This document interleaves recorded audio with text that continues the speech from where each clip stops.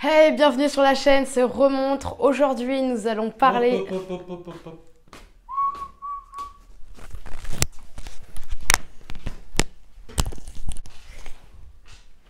C'est ma chaîne C'est ma chaîne Hey salut Bienvenue sur la chaîne Ça fait un petit moment qu'on s'est pas vu et j'ai remarqué qu'il y avait de plus en plus d'abonnés. C'est génial, bon il n'y en a pas non plus, c'est pas foufou non plus, hein. mais j'ai vu qu'il y avait beaucoup plus de vues que d'abonnés. Donc ça veut dire qu'il y en a qui regardent euh, sans cliquer sur le bouton. C'est pas compliqué. Tu vois s'abonner, tu cliques, c'est tout. Alors ce que je vais faire en fait là, je vais te laisser euh, une petite minute pour pouvoir t'abonner. C'est parti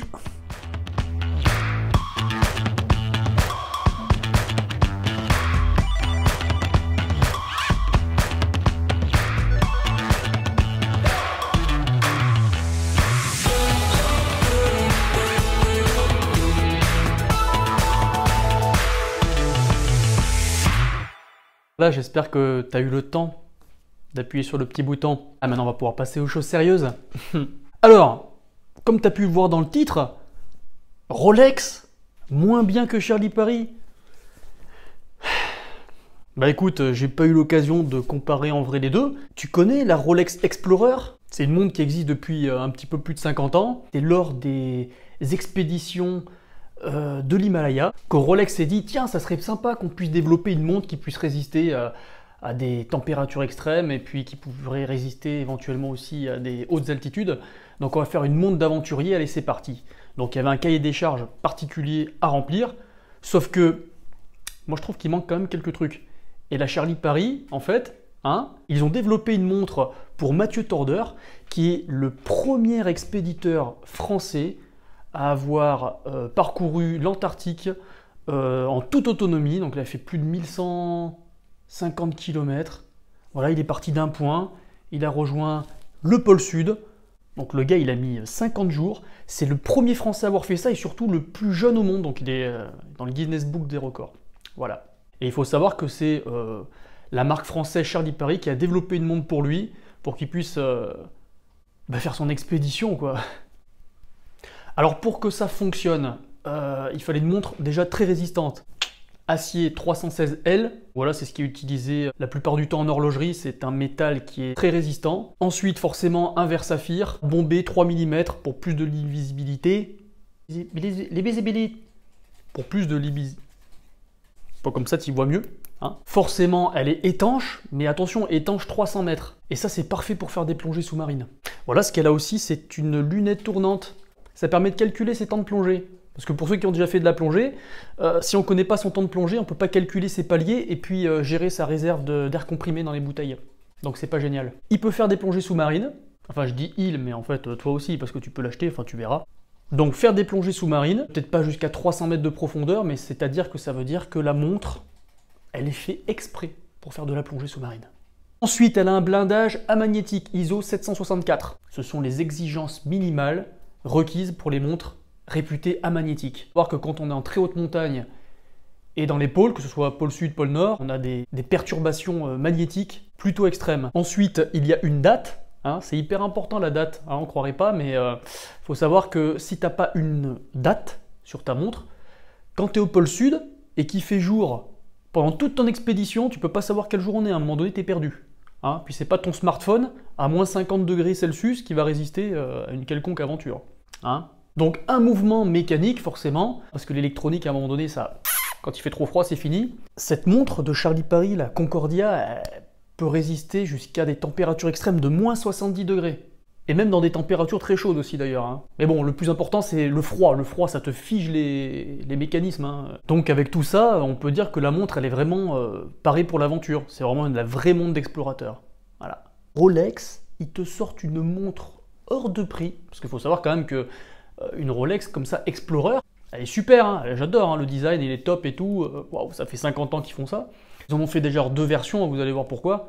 Et encore que, pas génial. On peut pas faire de plongée sous-marine avec. Pourquoi? Parce que même si elle est étanche, déjà c'est étanche seulement 100 mètres. C'est bien pour des petites plongées, mais quand on fait des plongées euh, au niveau professionnel, là c'est plus bon du tout. Mais surtout, ce qui me choque le plus sur la, la Rolex Explorer, c'est qu'il n'y a pas de date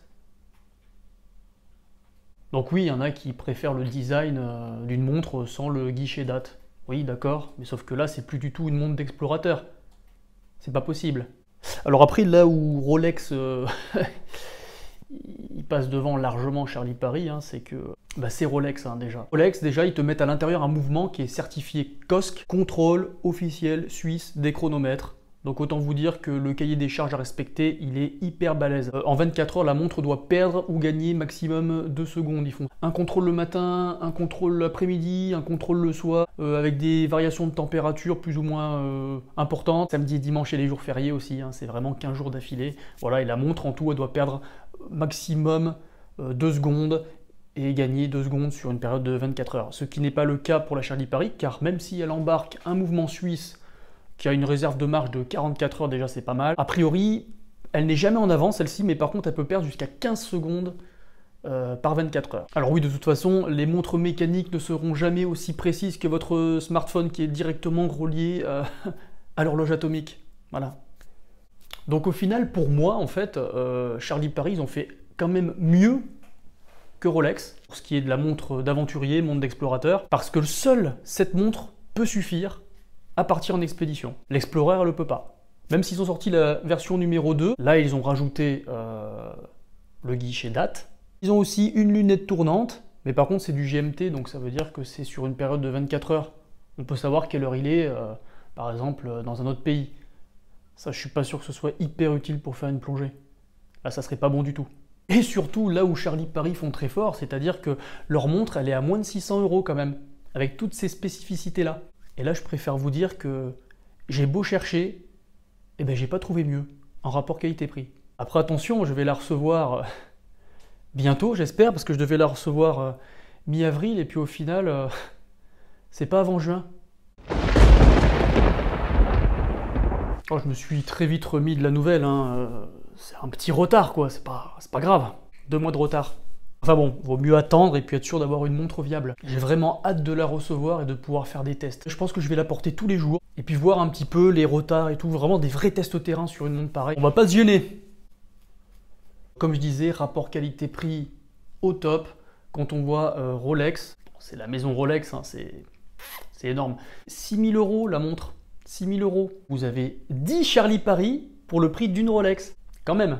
Alors oui, euh, j'ai pas 10 poignées non plus. du coup, j'ai vraiment pas d'argument, quoi. En tout cas, vous me direz en commentaire ce que vous en pensez. Hein. Rolex ou Charlie Paris, quelle est la mieux? En tout cas, en conclusion, vraiment, je voulais dire que Charlie Paris a eu une excellente idée de développer une montre pareille, avec le seul français et le plus jeune au monde à avoir rallié le pôle sud en totale autonomie, à ski, pendant plus de 50 jours. Il tire un traîneau, le gars et tout, avec sa montre. Euh, Franchement balèze. Voilà, alors si t'avais pas compris euh, qu'il fallait t'abonner, euh, du coup, euh, je te laisse une dernière chance. La vidéo va se terminer, puis si d'un coup, paf, on voit mon logo là, super classe, j'ai fait ça en 5 minutes. Tu cliques dessus, hein, ça y est, t'es abonné, hein, ambiance. Je te dis à bientôt.